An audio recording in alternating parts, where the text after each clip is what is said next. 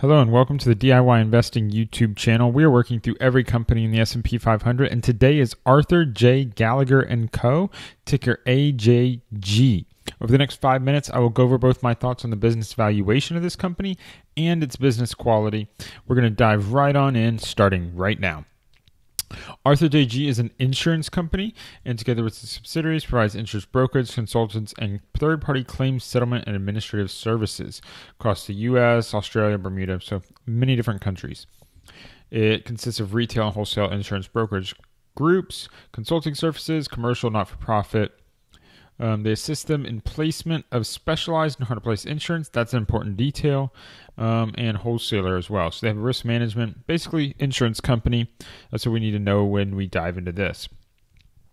Now, return on invested capital is interesting. The first thing I see is that they have been profitable every year for 20 years. That's always a very positive sign. I like to see that when I'm buying a company. It suggests to me that it's relatively high quality.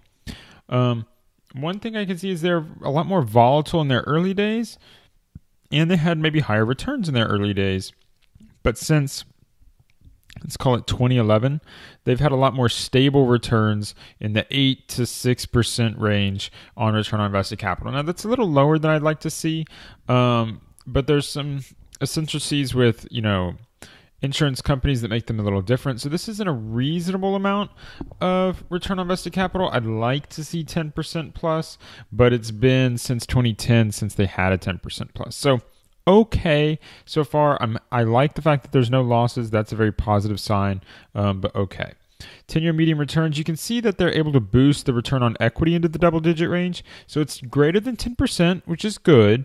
Um, I'd like to see a 15% return on equity. So they either would need more leverage or they would need a slightly higher return on invested capital to hit that mark for me. Now, where I get concerned is on valuation. The valuation here of a PE of 40 is is very high. Um, now, it's high likely because of these 10 year CAGRs. You see these double digit return rates of growth, and that's dr- probably driving this valuation.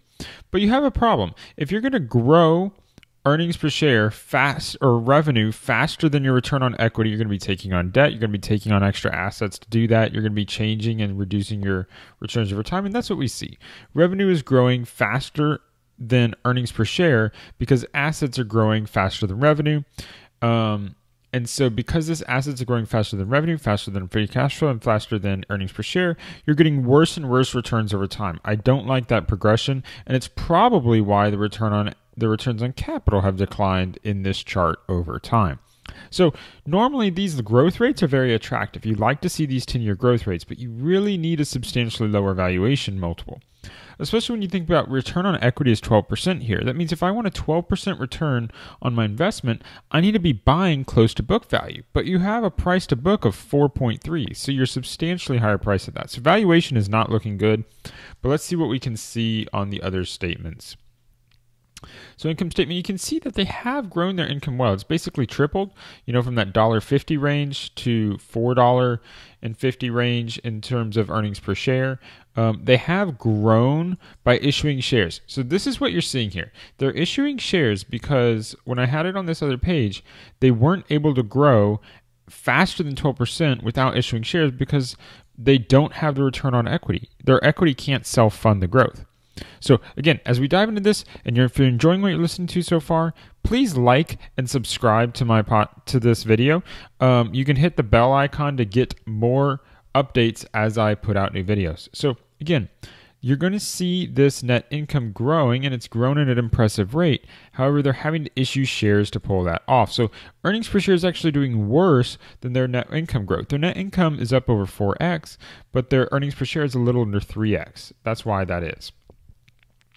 Now you can see asset growth has been substantial, um, almost a 10x in PP&E, but that's not a significant part of their balance sheet.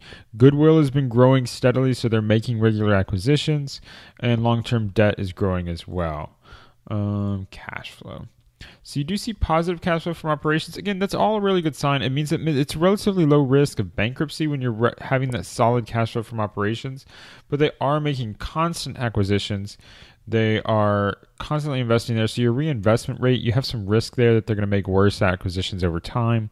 Um, I don't really like this. They have relatively low stock based compensation. That's okay. Um, but you can see that they're always issuing stock in order to fund the growth of their company. And I, I don't like to see that. So for me, this company I'm going to avoid. I'm not going to invest myself. It doesn't even go on my watch list. These returns on equity and returns on capital are too low.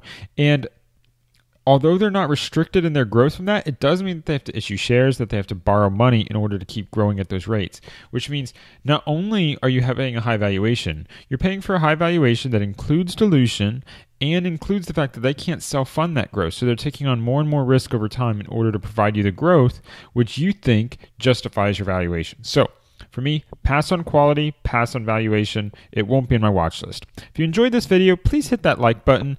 Hit the subscribe button as well so you can get updates when I upload future videos. That bell will give you a notification when I do so. Thank you for listening. Until next time, stop paying fees, start building wealth.